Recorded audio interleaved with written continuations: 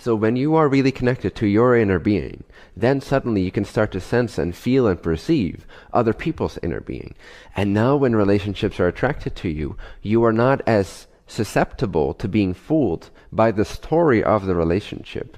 Even if it's like this magnificent story of, oh, I can't believe that this is how we met. And this same song played over and over again. And this like synchronistic event happened. It must be meant to be and i feel so good with you. This must be the twin flame connection i've been looking for. Whether or not that is the case for you is not my point. That is up to you to decide ultimately. But what i am saying is that true connection diminishes as soon as story kicks in as soon as we start to filter our relationship through a story of a personal self relating to another personal self, having a relationship experience that is then put on a pedestal and idolized as the most important thing in your life.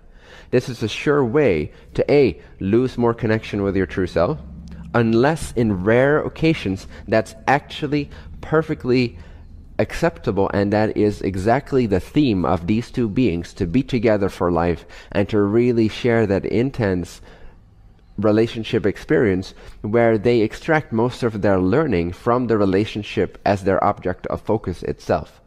But in most scenarios, don't fool yourself, in most scenarios, check in with yourself.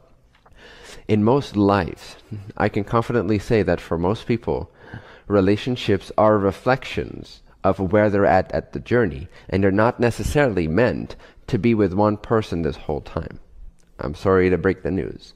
Um, you don't have to believe me if it's not true for you. Like I said, there are exceptions.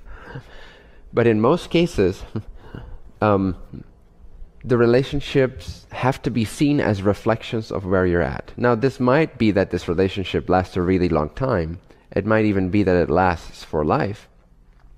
However, again, that's not the point. The duration of the relationship is not the point. The point is that we tend to give away our power and our connection to our own journey, we tend to forget our own journey for the sake of another person connection and feeling fulfilled in that. And we all know that we cannot always feel fulfilled from the physical level.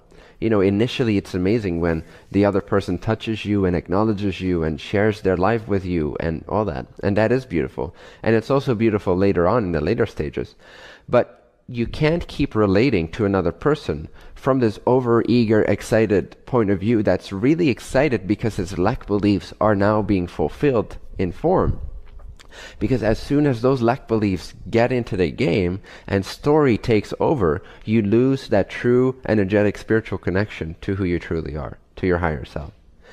And when this happens, oftentimes either the relationship turns for the worse or um, in the rare scenario where you're actually meant to go through all these phases together with one person, and that is in your theme of this life. That's a rare scenario, but it happens as well. It, that's totally cool as well.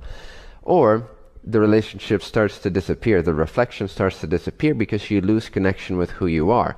And the reason that this hyper reflective, soul connected relationship could even come and enter your reality to begin with is because you raised your frequency and your connection to your true self.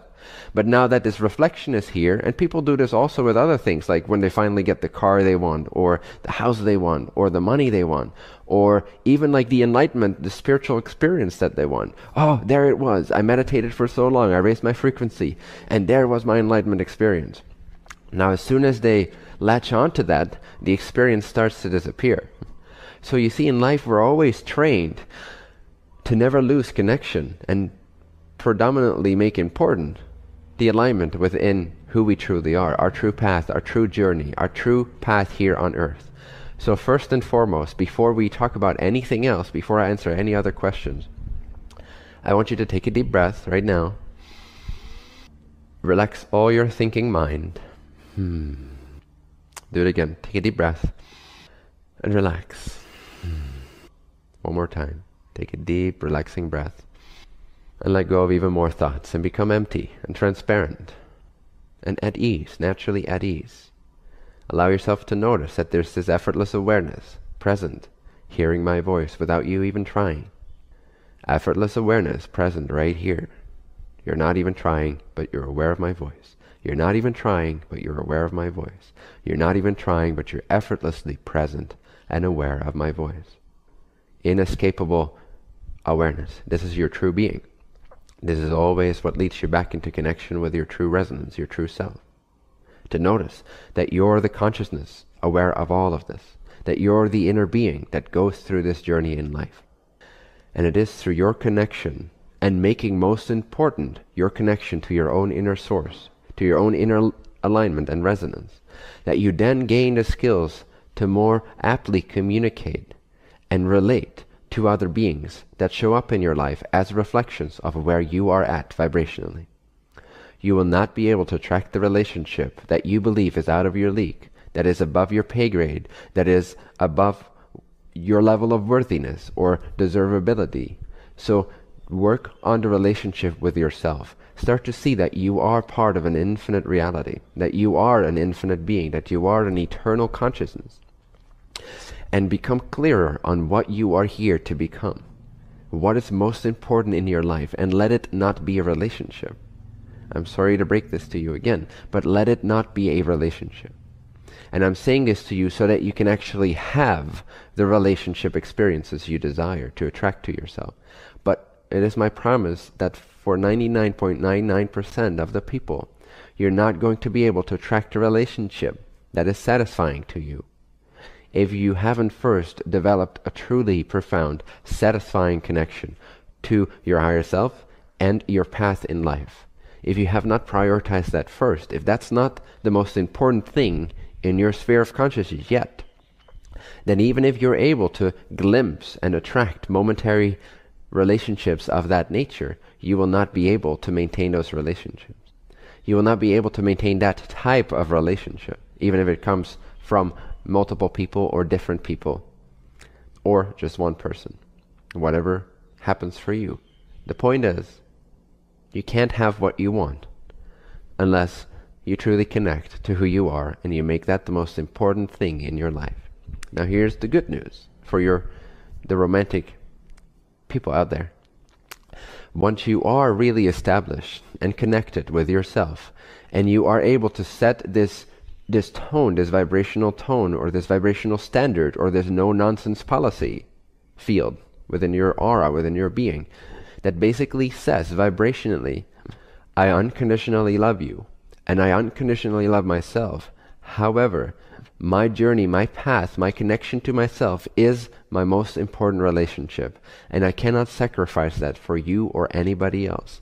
I can make all kinds of other sacrifices and concessions, but not this one. I can be as accommodating and caring and loving and give to you as much and all that I am, but I cannot and will not and do not want to sacrifice the connection to my true self and my true path and journey in this life. Now, when you set that vibrational standard, suddenly you start to become, with each relationship you attract, you start to gain this experiential practice of, I do not have to be afraid to lose anybody. Because I am able to attract new relationship all the time.